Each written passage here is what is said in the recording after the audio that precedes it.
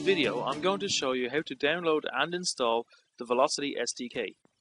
So on the Glorsoft website, click on the big yellow folder on the left, log in with your username and password on the right,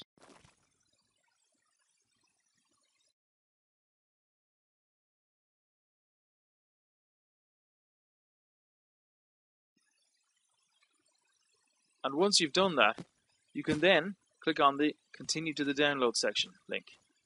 Download the latest SDK. Click on Run so that the installer will run automatically when the download is complete.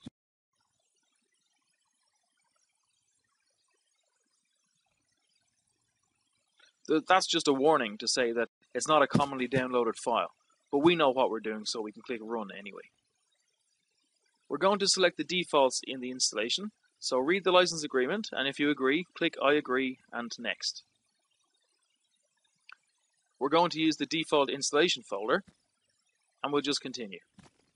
Now we just have to wait for files to be copied,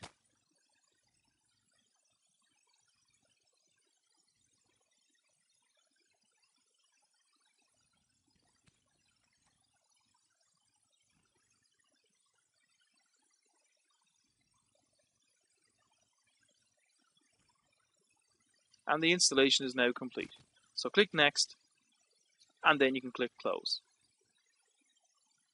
If you examine your Start menu now, you will see that there's a new option called Glorsoft Velocity SDK, and underneath that, you've got a number of items, and you also have a folder called Samples, which has various samples for the different languages. That is C Sharp, C++, .NET, Delphi.net, and VB.net.